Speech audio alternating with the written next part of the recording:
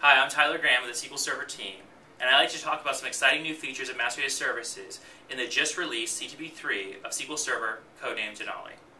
Master Data Services is looking to democratize master data management across the enterprise through the ability to load data through an Excel add-in. Master Data Services, also known as MDS, is going to allow you to leverage the features of MDS, such as validation, version management, transaction management, against those lists that exist on your information workers' hard drives, loading them into an IT managed server where they can take that data and provide refined security permissions and share that data across users in the enterprise.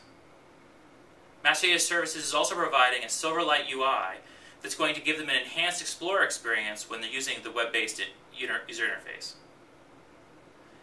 Another feature of Master Data Services in CTP3 is entity-based staging. This is going to allow people to use a much more natural interface for staging data into the system and be able to better leverage SQL Server integration services when loading data into Master Data Services. CTP3 can be uh, downloaded at microsoft.com slash Denali. Please test and give feedback.